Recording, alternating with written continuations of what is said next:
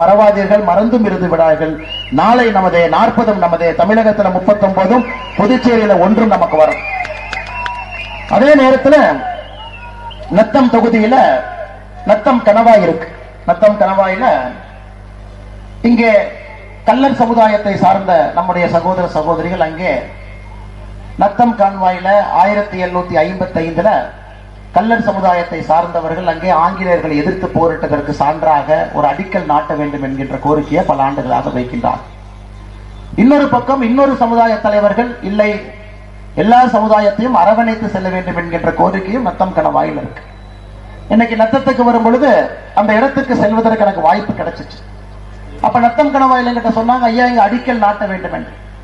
நான் சொன்னேன் அது சரித்திர சான்றாக இருந்தாலும் கூட அனைத்து சமுதாயமும் ஒன்றாக வரும் பொழுது மட்டும்தான் பாரதிய ஜனதா கட்சி ஆதரவு கொடுக்குமோ தவிர தனித்தனியாக தனித்தனியாக நமக்கு நாமே சண்டை போட்டுக் கொண்டிருப்பது சிறப்பாக இருக்காது என்றும் சொல்லிவிட்டு வந்தேன். அதனால் என் அன்பான வேண்டுகோள்.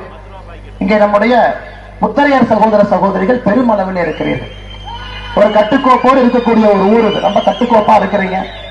நான் அண்ணன் கே கே எஸ் அவர்கள்ட்ட உங்க தலைவர்கிட்ட பேசின அதே சமயத்துல கல்லர் சமுதாயத்தில் இருக்கக்கூடிய தலைவர்கள்ட்ட பேசு. ஒற்றுமையாக நீங்கள் எதை செய்ய வேண்டும் என்று ஒன்றாக வந்தால் பாரதிய ஜனதா கட்சி உங்களோடு இருக்கும். அதே நேரத்துல யாராவது சண்டை போட்டாங்க அப்படின்னா பாரதிய ஜனதா கட்சியை பொறுத்தவரை எந்த பக்கமும் சாயாமல் பார்த்து கொண்டிருப்போம். அதனால் என்னுடைய அன்பான வேண்டுகோள். ஒற்றுமையாக நீங்கள் இரு இரண்டு சமுதாயம் முக்கியமான சமுதாயம் ஏன்னா நம்முடைய ஆண்டி அம்பலம் ஐயா தமிழ்நாட்டுக்கு ஒரு உதாரணம். தமிழ்நாட்டுக்கு உதாரணம். ஏதோ சாதாரணமா ஒரு எம்எல்ஏ எம்பிக்கெல்லாம் உதாரணம். மொத்த தமிழகத்திற்குமே உதாரணம் ஆண்டி அம்பலம் ஐயா ஒரு அரசியல்வாதி எப்படி இருக்க வேண்டும் என்கின்ற இலக்கணம் ஆண்டி அம்பலம் ஐயா அதனாலதான் இன்னைக்கு அந்த இடத்துக்கு போய் அந்த பிரச்சனை இருக்கக்கூடிய இடத்திலே பார்த்து விட்டு காவல்துறை சகோதரர்கள் வந்தாங்க. அங்கே சொல்லிவிட்டு வந்தேன் எங்களுடைய ஆதரவை பொறுத்தவரை ஒற்றுமையாக இருக்கும் பொழுது மத்திய அரசு கிட்ட சொல்லி என்னவெல்லாம் செய்ய வேண்டுமோ அனைத்தையும் செய்கின்றோம். ஆனால் ஒற்றுமையாக ஒன்றால் வந்தா மட்டும்தான். இல்லை என்றால் அது காவல்துறை நண்பர்கள் அவர்கள் பேச்சுவார்த்தை நடத்தி ஒற்றுமையை கொண்டு வர வேண்டும் என்று சொன்னோம். அதையும் இந்த மண்ணிலே சொல்வது என்னுடைய கடமையாக நான் நினைக்கின்றேன். காரணம் நான் வந்துட்டு போனதுக்கு அப்புறம் காவல்துறைக்கு யாருக்கும் பிரச்சனை வரக்கூடாது. அதனால் அடிப்படையில நாம் இந்தியர்கள். நம்முடைய ஒருமைப்பாடு என்பது அடிப்படையில ஒரே ரத்தம் இருக்கக்கூடியவர்.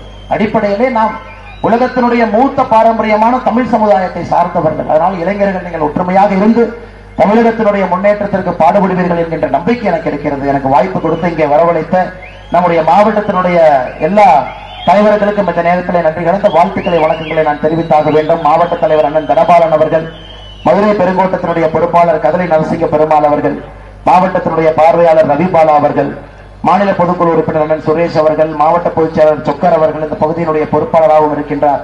மாவட்ட துணைத் தலைவர் வீரஜோதி அவர்கள் லட்சுமணன் அவர்கள் மாவட்ட செயலாளர்கள் சபாபதி வேல்முருகன் அவர்கள் திண்டுக்கல் ஒன்றியம் தெற்கனுடைய ஒன்றிய தலைவர் முத்துவேல் அவர்கள் நத்தம் ஒன்றிய தலைவர் அய்யன் நாயுடு அவர்கள் நத்தம் தெற்கு ஒன்றிய தலைவர் சேகர் அவர்கள் சாணார்பட்டி வடக்கொன்றிய தலைவர் மணிகண்டன் அவர்கள் சாணார்பட்டி தெற்கு ஒன்றிய தலைவர் சென்னதுரை அவர்கள் அண்ணன் வீரராகவன் அவர்கள் முன்னாள் மாவட்ட தலைவர் போஸ் அவர்கள்.